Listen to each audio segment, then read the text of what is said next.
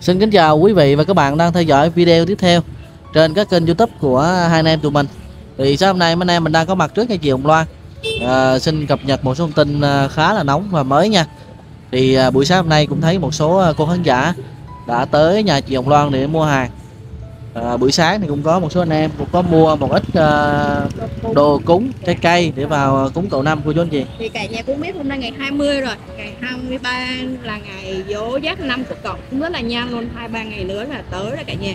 Thì nãy cũng nghe anh Khoa chia sẻ một ngày đó là đông các nghệ sĩ cô chú anh chị những anh em bạn bè đồng nghiệp những con cháu gì sẽ tới tụ họp ha. Không biết ngày đó thì mẹ con ve cũng như là chú bảy có có vác cái mặt qua hay không nha.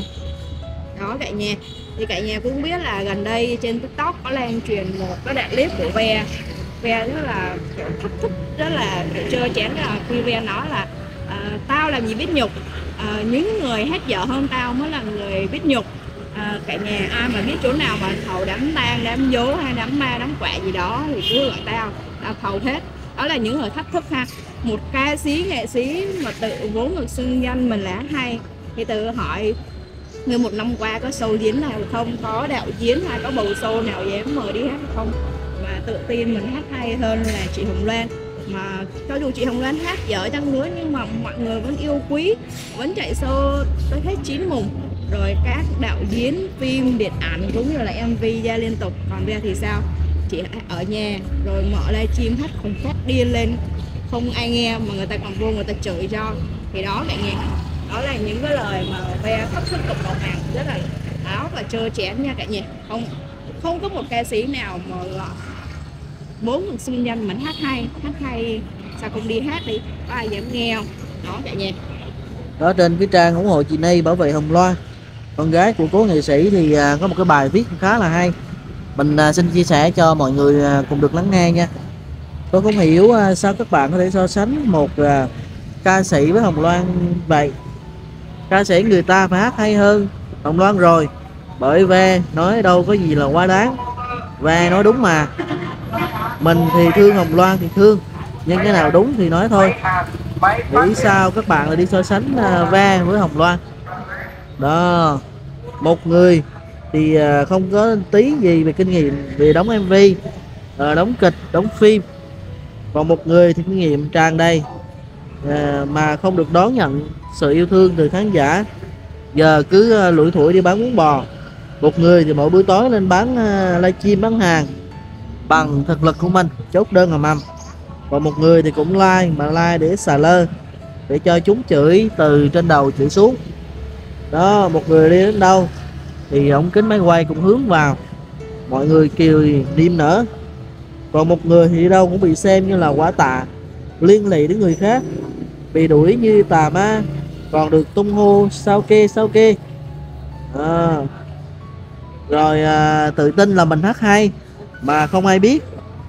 Khi mà thi sao nói ngôi thì mọi người mới vẽ lẽ. À thì nó là cháu của ông cố nghệ sĩ. Tự tin mình hát hay vậy mà sau khi ông mất người ta mới biết mình. Mà biết không phải là nhờ hát mà là nhờ chấm chấm chấm. Dành của tự tin hát hay mà sao không mua nổi cái nhà mà phải à, à, mặt dày đòi đồng sở hữu. Tại cái giới showbiz bao nhiêu ca sĩ nổi tiếng người ta chưa dám chê ai hát hay không bằng mình. Ấy vậy mà nhà lầu xe hơi thì người ta sắm ầm ầm. Bolero là thể loại à, nhạc rất là dễ hát. Còn cảm thụ âm nhạc thì tùy mỗi người. Người ta thích nghe giọng của ai thì à, họ nói là hát hay. Còn về phần mình không biết nhục. Thì à, khỏi nói mọi người cũng biết chẳng có ai biết nhục mà đi dành với con của nhà người ta. Tại cha người ta không để lại di chúc cho mình. Là tự hiểu địa vị của mình trong lòng cha người ta là cỡ nào rồi?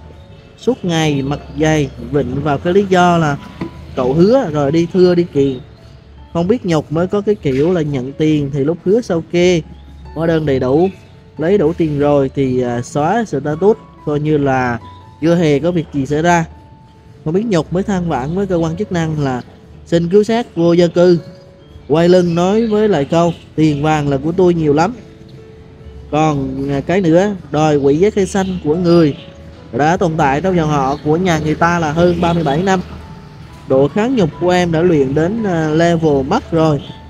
Nhìn anh em cũng yêu thương, đùm bọc lấy nhau. Ghê chưa? Đứa con khác họ thì mà thôi, khác mà tanh lòng đó, cả nhà, đó là những cái lời mà một khán giả ờ, lên tiếng về phía ve ha cũng mấy nhục ha. Vốn được xưng danh là hát hay trong khi đó đi hát mười mấy năm trời có nuôi nổi có mua nổi một cái nhà cho cha cho con mình ở hay không? Hay là chỉ có biết là tranh giành cái nhà của cậu mình hai cả nhà? Đó rồi còn đi nói là uh, kêu gọi là mình uh, mẹ mẹ khổ này con khổ này trong khi đó là khi mà bên ờ, thẩm định đến ấy, thì nó là tiền vàng của tôi rất là nhiều. Nói một câu rất là mâu thuẫn là lúc thì nói là mình khỏi không có tiền. Lúc mà mở căn phòng với ra tiền vàng đầy quá trời mỗi chỗ giống một ít một ít. Tôi đó cũng phải là mấy trăm triệu luôn tiền vàng quá trời phải ở đâu mà ra. Cái lúc mà cậu mất mới nói là không có tiền phải đi bán vàng bán đồ bán đạc để có thể là mua huyệt mộ cho cậu. Và sau đám tang của cậu thì mua xe hơi tiền vàng thì đầy nhóc thử hỏi đặt vấn đề là tiền ở đâu ra. Không phải là tiền của khán giả gửi hay là tiền mà tiền cúng biếu ăn chặn thì ở đâu ra vấn đề đó. Còn năng cái status là sau khi mà kêu gọi quyên góp thì sẽ sao kê. Nhưng mà sau cái vụ một nhận năm rồi gần một năm rồi đó. Dạ, sau cái vụ nhận đấy thì xóa cái status cũng sao kê nhưng mà sao kê bằng giấy. Chưa đầy một trang giấy thì cũng gọi là sao kê không. Sao kê là phải sao kê chi tiết người này người kia nhận như thế nào đi chung chung chung chung như vậy thì ai mà ghi chặt được. Đó cả nhà. Đó sau kia chỉ là những người mà chuyển khoản ngân hàng rồi á nó có uh, chụp màn hình là nó dễ. Còn những người mà đi trực tiếp đi cái phong bì thì uh, chỉ những người nào mà mở phong bì ra đó ra mới biết được. Uh, thực sự là là là cái, tờ, cái tấm lòng mà đi đám tang của nghệ sĩ là bao nhiêu tiền của chú anh chị? Tại vì uh, chỉ có những người vẫn mở những cái phong bao đó ra thì mới biết thôi có những cái tình cảm của những cái khán giả mà yêu mến của ờ, uh, chú Năm thật sự. Thì họ đi bao nhiêu? Để mà chị Hồng Loan coi như là để đi uh, trả nợ cho ba của mình để cho ba của mình không mang tiếng nữa. Chứ còn cái câu chuyện mà uh, mẹ con uh, của bên bún bò mà chịu uh, trách nhiệm trước vòng mà vành móng ngựa thì uh, chị Hồng Loan là không hề có ý đó nha. Uh, để chị Hồng Loan là muốn làm rõ cái chuyện sau kê để lấy lại danh dự của ba của mình chứ bên đây cái câu chuyện sau kia chúng ta nhắc rất là nhiều rồi. Bên đây là tròn một năm mà nó cô chú anh chị. Cũng sắp tới ngày à, giáp năm vỗ đầu của chú. Thì cũng mong câu chuyện nó dần sáng tỏ. Thì đó cả nhà cứ mở miệng nha nó là thương cậu nhưng mà tại quán bún bò không có làm một cái gọi là một nơi thờ cúng cho cậu. Em chắc với một điều với cả nhà là thế nào cái ngày giấu của cậu cũng sang bên nhà con ờ, kim kim oxin á cả nhà. Kim oxin để có thể là làm cái dấu cho cậu thấy nhiều không? Bản thân mình là cháu là, là Em. ruột, em là á. anh. vậy mà trong khi đó không có một cái bàn thờ để cúng hay là làm dỗ cho cậu tại nhà mà phải qua nhà oxin nó một sự gọi là rất là nhục nhã nha cả nhà. Nhục trước mình thấy mở miệng nha là thương thương mới rút cuộc thương ở chỗ nào cả nhà. Hay là thương căn nhà này hay là thương mảnh đất của cậu. Thương cái sự danh tiếng của cậu để cho mình nổi mà rốt cục bây giờ mình có nổi hay không? Hay là chỉ mang tay tiếng suốt cả cuộc đời và mang tên là thầu đám tang thầu Anh Chạch cũng như là mang tiếng là ve chơi chén ha cả nhà. Đó đó là những lời bức xúc trong buổi sáng ngày hôm nay. Tụi em muốn ờ, gửi đến cô chú anh chị những thông tin mới sắp tới ngày dỗ của cậu rồi cả nhà. Đó, thì hiện tại thì chị Loan cũng ờ, chuẩn bị đi công việc để lo sắp tới cái ngày đám tang còn hai ngày nữa thôi. Chị Loan phải lo rất là nhiều thứ từ mâm bàn rồi mời người này người kia rất là nhiều. Một mình chị Lan làm hết luôn đấy cả nhà. Rất là thương chị Hồng Loan nha. Cả nhà yêu thương chị Hồng Loan cũng như là yêu thương hai anh em tụi em nhớ đăng ký ủng hộ. Cảm ơn cô chú anh chị rất là nhiều nha. Chào tạm biệt cả nhà.